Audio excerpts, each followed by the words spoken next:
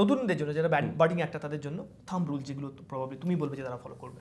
প্রথমত there is no thumb rule মানে এটা সবার জার্নি আলাদা মানে তোমার জার্নি একরকম আমার জার্নি আরেক রকম আমার বন্ধুদের জার্নি আরেক রকম। একটাই বলব আমার জার্নিটা অন্যরকম ছিল কারণ আমি টেলিভিশন থেকে স্টার্ট করেছি। After seven years of television আমি ডিসাইড করেছি না এবার have to change the medium এবার যারা ছবি দিয়ে শুরু করেছে তাদের অন্যরকম জার্নি একটাই বলব বি গ্রাউন্ডেড মানে নিজের মতন থাকা উচিত সেকেন্ড হচ্ছে ফ্রম এভরি প্রজেক্ট মানুষের শেখা উচিত। দিস নো এন্ড তোমার শেখার কোনো শেষ নেই। সো আমিও শিখছি, সবাই শিখছে, আমার যারা, আমার থেকে যারা দশ বছর আরও বেশি এক্সপিরিয়েন্স তারাও শিখছে। আমি কিছু কিছু লোকেদেরকে দেখেছি who are like proper stars মানে আমরা কিছুই নয়। রাতি আড়াইটার সময় মানে আউটডোরে তাদের রুমে গিয়ে দেখছি, পরের দিন গানের শ্যুট তারা গান লিরিক্স মুখস্থ করছে। তাদের হয়তো একশোটা ছবি হয়ে গেছে।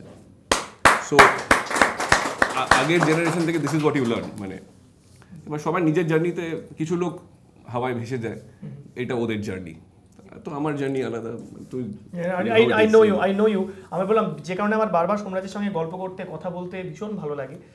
যে ও এত হাম্বল এবং এত ডাউন টু আর্থ আমার মনে হয় যারা বার্ডিং অ্যাক্টর বা অ্যাক্ট্রেস তাদের প্রত্যেকের শেখা উচিত। ইনফ্যাক্ট যারা ডিজিটাল স্টার্স যারা প্রত্যেক মুহূর্তে এই কয়েকটা লাইক হচ্ছে ভাইরাল হচ্ছে তারপরে যারা ভাবেন যে বস অল ডান আমি তো হয়ে গেছি তাদেরও শেখা উচিত যে এতগুলো প্রজেক্ট করার পর এতটা জনপ্রিয়তা পাওয়ার পরেও একটা মানুষ কতটা হাম্বল থাকতে পারে বা কতটা হাম্বল থাকা উচিত আমার এটা বাট বাট তোমার মনে হয় না দ্যাট ইজ ভেরি টেম্পোরারি জনপ্রিয়তা হ্যাঁ, ইজ ভেরি টেম্পোরারি মানে আজকালকার দিনে।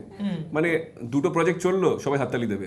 আর দুটো প্রজেক্ট চলল না সবাই বলবে সো আমার মনে হয় এইটা is a part of job real লাইফটা আলাদা। True true true very very very nice specially digital আসার পরে ইট ইজ ভেরি টেম্পোরারি মানে একটা আমরা যে রিলস করি সব রিলে কি এক মিলিয়ন লাইক হয় হয় না তো? তো লাইফও তো ওরম মানে ফেলিয়ার্স থাকবেই। বাট আমার মনে হয় মাথায় না ঢুকলেই বেটার না Ayushi I love Somraj too so sweet so sweet amazing আমি যারা যারা আছেন তাদের একটু প্রশ্নগুলো জানতে চাই। কে কে প্রশ্ন করবে একটু হাত তুলুন? ইয়েস ইয়েস ম্যাম হ্যাঁ। নাম বলুন কোথা থেকে আসছেন একটু বলুন। আমি শিপ্রা চক্রবর্তী ডালা থেকে এসেছি। আচ্ছা। ও ব্রিজটা যখন হয়ে গেছে? ব্রিজটা হয়ে গেছে তোমরা যা আশা করতে পারবে আমার বাড়িতেও যেতে পারবে। আচ্ছা, সবাইকে নিয়ে যেও সবান দেবে হ্যাঁ। যেটা তুমি তোমরা কি খেতে ভালোবাসো? আমি বিরিয়ানি। বিরিয়ানি? বিরিয়ানি? হ্যাঁ আমি বানাতে পারি। কোনো ব্যাপার না। গ্রেট হ্যাঁ। ইয়েস আমার প্রশ্নটা প্রশ্নটা হচ্ছে যে তোমার জীবনের সবচেয়ে দেখো মা বাবা সবচেয়ে প্রিয় সবার কাছে সবার মা বাবা জীবনে সবচেয়ে কিন্তু তার চেয়েও একজন স্পেশালিস্ট প্রিয় মানুষ থাকেন হ্যাঁ? সেই ব্যক্তিটি বা ব্যক্তি কে হয় তোমার কাছে? তোমার লাইফে তোমার ফেভারিট মানুষ হতে পারে মা বাবা ছাড়া। হুম আবার তোমার মা বাবা হ্যাঁ। তো আই আয়ুষই হবে। কারণ আহ, আমার খারাপ মানে যে ভালো টাইমেও আছে খারাপ টাইমেও সে আছে।